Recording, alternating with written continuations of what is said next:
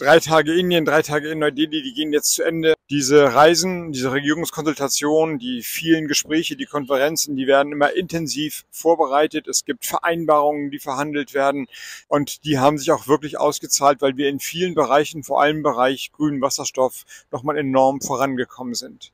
Trotzdem glaube ich, dass diese Konferenzen nicht darin aufgehen, dass man die formalen Vereinbarungen schließt. Das ist immer das, was im Mittelpunkt steht.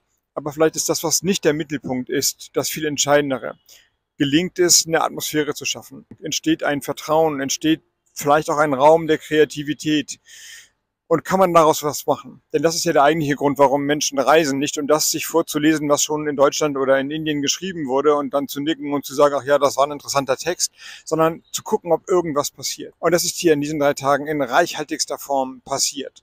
Zwischen den Regierungsmitgliedern jedenfalls mit meinem Kollegen bin ich zwei Tage lang hier durch die Gegend gezogen und dann lernt man sich nochmal ganz anders kennen und redet auch anders über die Probleme, in diesem Fall ein Freihandelsabkommen. Die Gespräche mit den Unternehmensleitungen, sowohl den deutschen Unternehmen, die hier in Delhi sind, wie auch mit den indischen Unternehmerinnen und Unternehmern, die nach Deutschland schauen. Die Startup-Szene war voll da junge Leute, die vor allem im Bereich von künstlicher Intelligenz eigene Softwareprogramme häufig im Sicherheitsbereich aufgelegt haben und unsere Unternehmen, die genau zugehört haben, welche Technik hier verfügbar ist. Und dann ganz viele kleine Momente. Heute Morgen eine Diskussionsrunde bei Studierenden, wo wirklich Zukunftslust da war, wo richtig Spielfreude an gesellschaftlichem Aufbruch da war. Die Freude der Einlaufmädchen bei dem Hockeyspiel, das ich besuchen durfte.